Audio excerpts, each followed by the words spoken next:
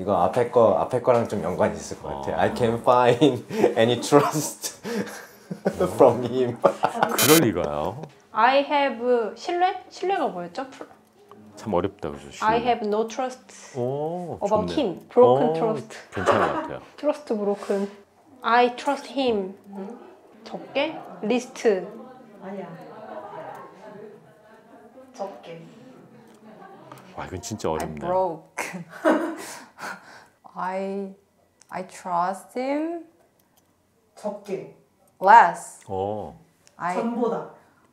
I trust less than. him less before. 어허. 에? 어허. 오 잘하시네요. 오케이 오케이 좋습니다. 사실 이거는 어, 정말 어려운 영장인 것 같아요. 그 어떤 분은 trust broke 그죠? 어, 깨진 거니까 물건이 깨진 것처럼 뭐 알아들을 수 있을 것 같아요. 네, 뭐 원어민 충분히 알아들을 것 같습니다.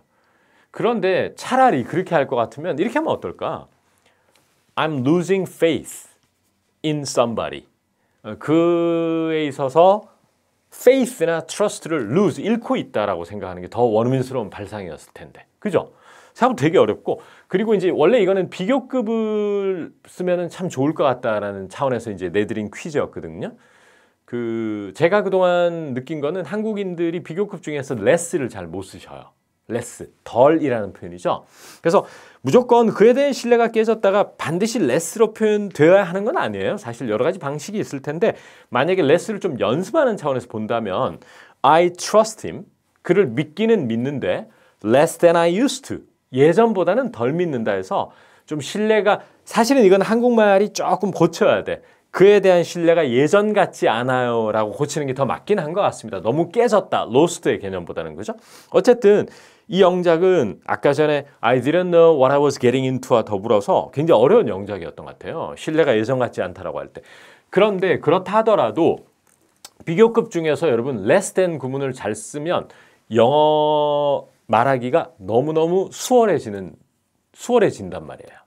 어, 씀씀이를 줄이겠다 이러면 꼭 줄이다 씀씀이 자꾸 이렇게 가느려고 하더라고요. 근데 trying to spend less 이렇게 하면 영어가 쉬워지잖아요. 어떠셔요? 쉬워지죠.